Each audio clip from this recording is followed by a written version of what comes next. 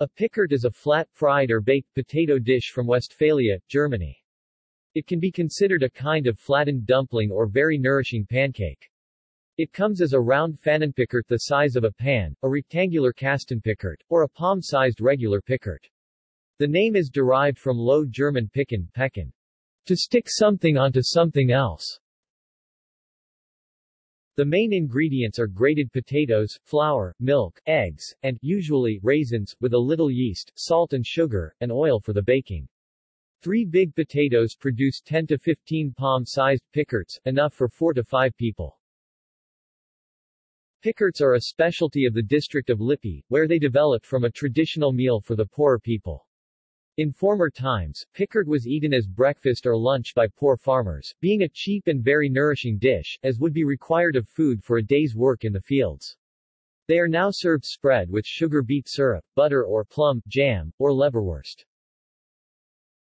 A related dish, Lappenpickert, is found in the regions west of Lippe, towards Münster and the Ruhr area.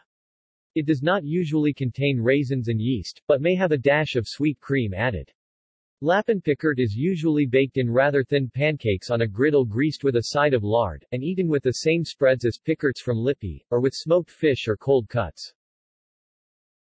See also. Rösti. References.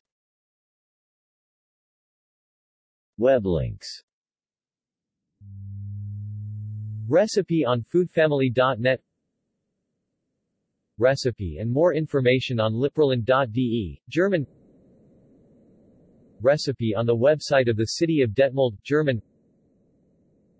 Recipe from Detmold Broeckhausen, German.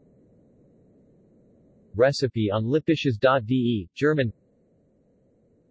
Recipes and stories around the Pickert on Lippischer Pickert. Det German category, Spies aus Gemus oder Tiguren Category, Westfalisch Kusch Category, Kultur, Kreis Lippe